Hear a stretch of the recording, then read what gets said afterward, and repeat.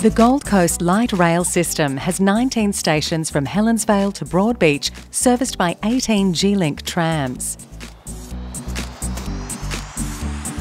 The Light Rail project is transforming the Gold Coast by providing a world-class public transport service that is safe, comfortable, reliable and positioning the city for sustainable growth. The light rail system has been designed to be delivered in a number of stages to respond to the growth of the Gold Coast.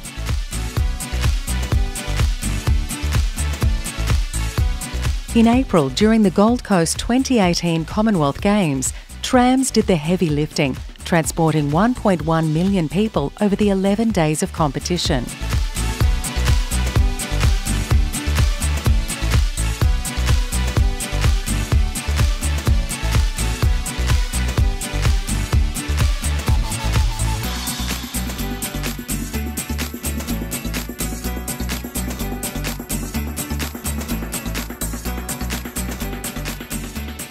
The Queensland Government and the City of Gold Coast are partnering again to refine the reference design for Stage 3A from Broadbeach South Station to Burleigh Heads.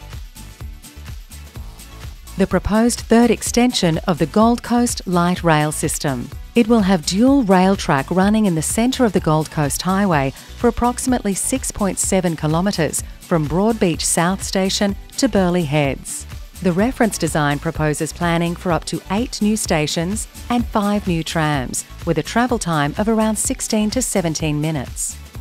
The detailed business case will be completed by the end of 2018 to enable government to understand and consider community and environmental impacts, operating logistics, as well as the cost and benefits of the project. A decision on future Queensland Government funding for the delivery of Stage 3A is dependent on funding from the Australian Government and City of Gold Coast.